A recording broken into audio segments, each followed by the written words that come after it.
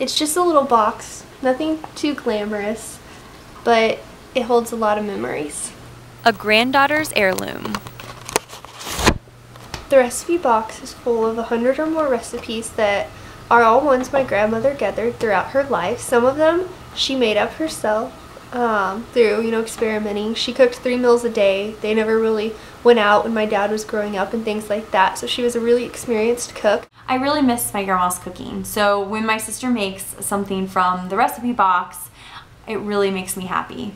My grandma had a lot of staple recipes, but I thought I'd share one of the more simple ones. Um, it's kind of a version of a taco casserole that she made up herself. I usually start with my noodles. I like to get these noodles, the twisty kind, really just for one reason, and that's because my grandma always got the twisting noodles because they're, they're more fun. We also need our ground beef, preferably thawed before you start. It'll help the meat to cook more evenly. Some taco seasoning, mild, spicy, hot, whatever preferences are. We need some diced tomatoes. I like to put a bit extra of those. They keep it nice and moist and some cream of mushroom soup to mix in along with an onion for some more flavoring. You gotta have your bell peppers.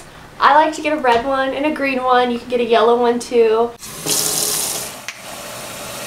And we're gonna let our water come to a boil before we pour the noodles in. A little dice and slice. And a full stovetop looking good.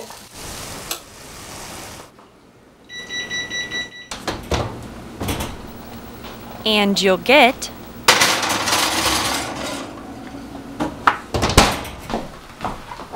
time to eat. Yum. What joke. Liz Parsons, DUTV.